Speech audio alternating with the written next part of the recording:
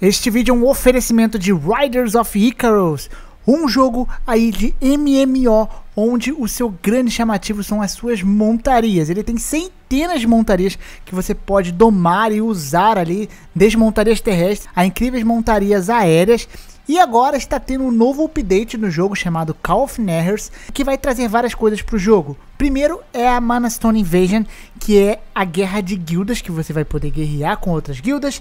Vai ter também mais montarias novas. Está tendo evento também para pessoas que são novas no jogo, estão entrando no jogo agora. Vai ter um evento de buffs que vai acontecer todo mês no jogo. E também ali durante esse período de evento, você vai poder ganhar aí mais de 100 dólares em prêmios ali, em coisas dentro do jogo, o que pode ser muito interessante aí para a galera que vai começar agora também. Então, para você jogar, acessa aí o primeiro link na descrição, beleza? E participe lá do Riders of Icarus. DLC ou conteúdos baixados que você paga geralmente para conseguir um conteúdo extra dentro do jogo. Esse tipo de prática de DLC surgiu já há muito tempo e meio que se tornou algo comum no meio dos videojuegos. Tem DLCs que são muito boas e depois de um jogo fazer muito sucesso, os próprios fãs às vezes pedem pra empresa fazer uma DLCzinha, né? Até hoje eu queria ver uma DLC de Sekiro, por exemplo.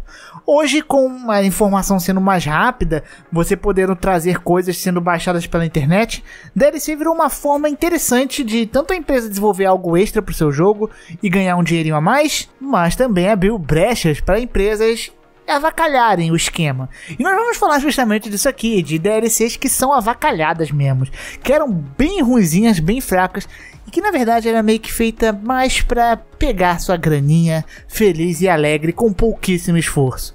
Então vamos falar das piores DLCs dos jogos. Então não esqueça de seu like, se inscrever no canal, puxa aquele banquinho, senta aqui do nosso lado e vem comigo.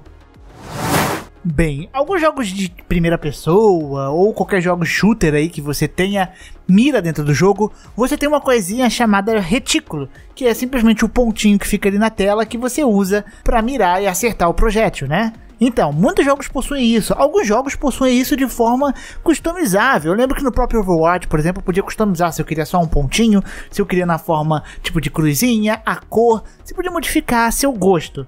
O que até aí tudo bem, você modifica da forma que você quer, o seu retículo como fica melhor para você enxergar a mira da, do seu, seu, da sua arma no jogo em geral. Só que Call of Duty Black Ops, tô rindo já porque é engraçado. Call of Duty Black Ops 4 teve a bendita ideia de lançar por DLC ali, você comprava e recebia um retículo de uma cor diferente. Tinha um rosinha e tinha um retículo que ao invés de ser o pontinho ali, era um roxinho sorrindo, era uma, uma smile face por 2 dólares, tipo 10 reais, você compra a mira de uma arma. O coisa, uma feature que já era pra estar tá em jogos, né? tipo, você customizar sua retícula, os caras tiveram a bendita ideia de monetizar o um negócio, velho. Chega a ser engraçado e tosco demais. Tudo bem que não é algo que vai adicionar nada no jogo e muita gente vai deixar de comprar. Só que só de ter a ideia de colocar isso à venda, um retículo, um ponto do que você joga, algo que inclusive quem joga no PC pode customizar à vontade, provavelmente. Vender isso por 2 dólares é tosco, né? É bem tosco se você for ver. Enquanto existem jogos que te dão bônus e coisinhas ali 0800 para agradar os players, os caras estão vendendo retículo a 2 dólares. Chega a ser bem cúmulo do absurdo, né, cara? Se for tipo, primeiro de abril e achar que era uma pegadinha o negócio. Mas os caras realmente vendem retículo de arma. É, é nesse nível que chegamos, meus amigos.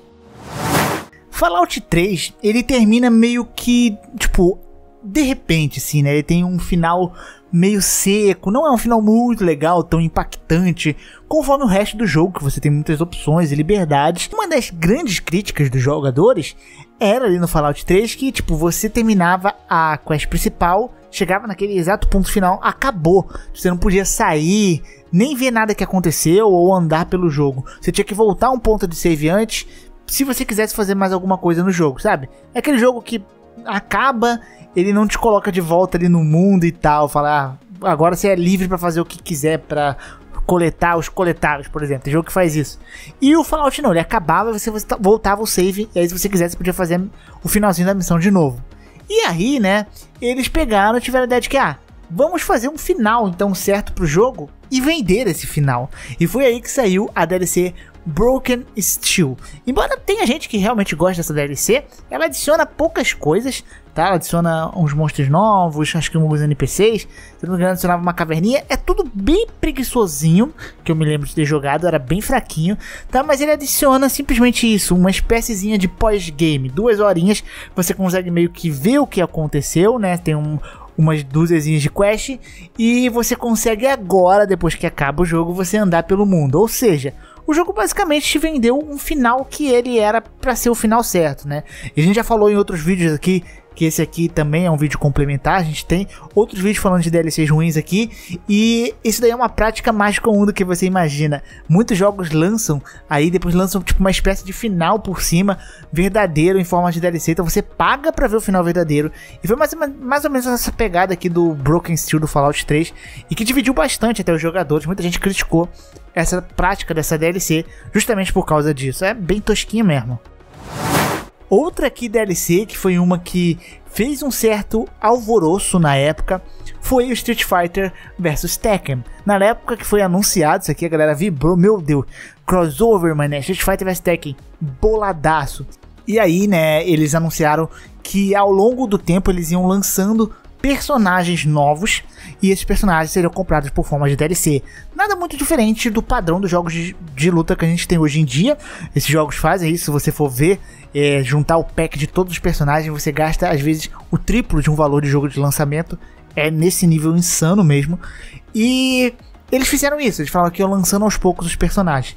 Até aí, mais ou menos que ok, é uma forma dos jogos de luta se monetizar, né? Muitos têm servidores próprios, então eles vão se mantendo atualizando. É, eu não curto muito não, mas não é a pior coisa do mundo. O grande problema aqui é que descobriram que todos esses personagens que iam lançando no decorrer de meses, todos já estavam no jogo, já estavam pronto. Ou seja, tudo que você fez foi comprar um jogo que já tinha os personagens, só que tudo que você ia comprar era uma espécie de licença que ia te permitir desbloquear esses personagens. E aí a galera ficou chateada, porque, cara, DLC geralmente é para você ver que o jogo deu certo e você lançar depois coisas novas pro jogador não cair na monotonia, né? Pro jogo não ficar monótono. Então é bom você manter ele atualizado. Mas lançar negócio que já tá no jogo tudo pago assim.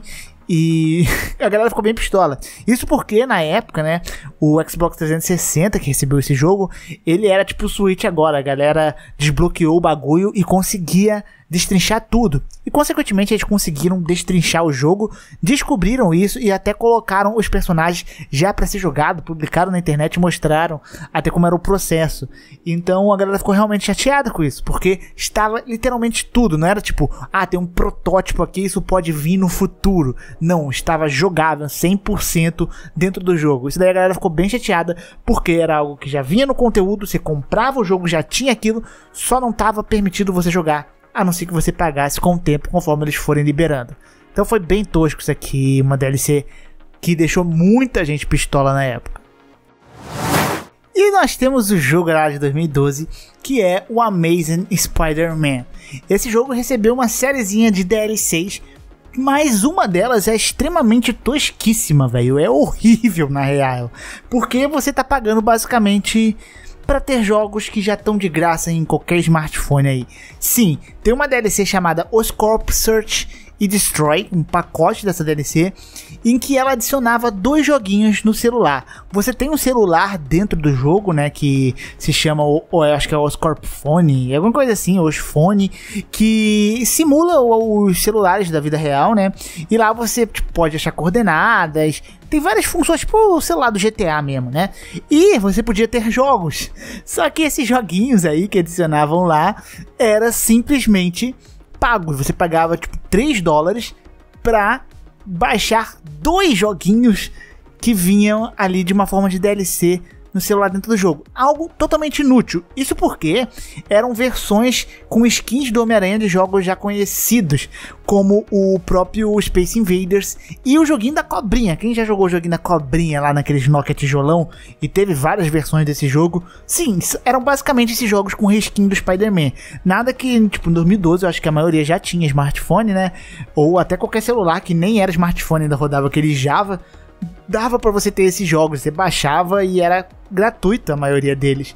E os caras lançaram isso pago para você ter que abrir um jogo para abrir um celular para jogar o jogo da cobrinha e o Space Invaders, velho. Tosco demais. Muito tosco isso aqui.